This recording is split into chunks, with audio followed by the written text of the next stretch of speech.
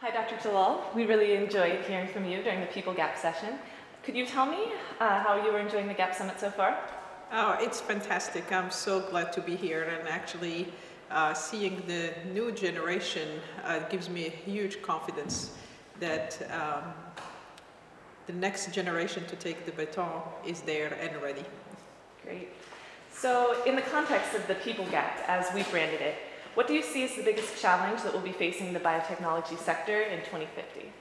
Uh, I think the challenge that um, we'll be facing is to, con to continue to attract the talent into this area uh, and continuous innov innovation. And for me, innovation comes from several, several things. You know, one is uh, the diversity of thought and diversity of, you know, of all kinds. And so attracting that into, into the sector is going to be, has to be always a challenge and uh, something that we strive to solve all the time. Great. So based on your experience as CEO of MedImmune and with that in mind, what do you see as the biggest challenge in the context of enabling and equipping people with the right, right talent um, in the medicinal biologic sector?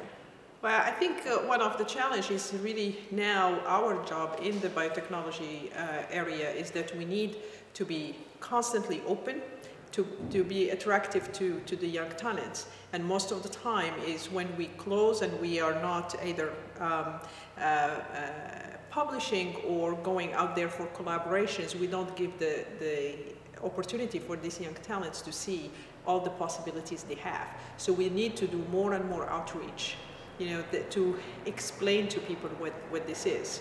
Uh, there are some dogmas out there that if you come to biotechnology, you don't, you don't, you no longer do science. They're just completely wrong. You do a different kind of science. We need to stop uh, people from saying this is the dark side. No, we're in it together, right? So there is good science everywhere, and there is a different way of doing science, one in the in industry and one in academia, and we need both. Wonderful.